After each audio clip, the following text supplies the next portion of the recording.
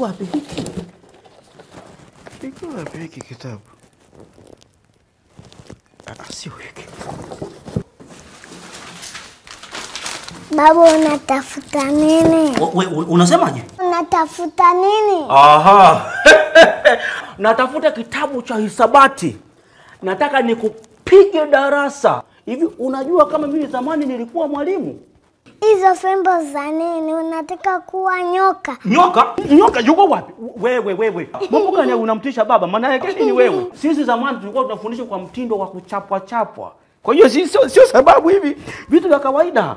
Na siku hizi mambo ya kidijitali, lakini zamani ilikuwa mambo analojia ndio maana tunatumia hizi bakora. Baba, mimi naelewa bila kuchapwa.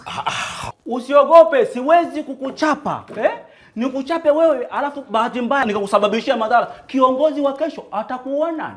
Siku hizi mambo yote ni kidijitali. Zamani ilikuwa analojia, lakini siku hizi kidijitali. Tunafundisha kidijitali, tunaelekeza kidijitali, watu wanaelewa kidijitali. Umenielewa? Ndio baba, basi mi naenda kuzitupa hizi fimbo nje. Ah, ah, kazi tupe, haina shida, kazitupe kazitupe, kazitupe.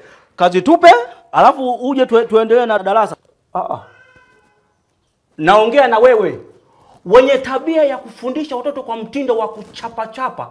Acheni, mnawavuruga watoto kisaikolojia. Muwafundishe kwa njia elekezi, wataelewa. Hey, habari ndo hiyo. Unashangaa nini? Ndio nikupige darasa uelewe. Haya, sikiza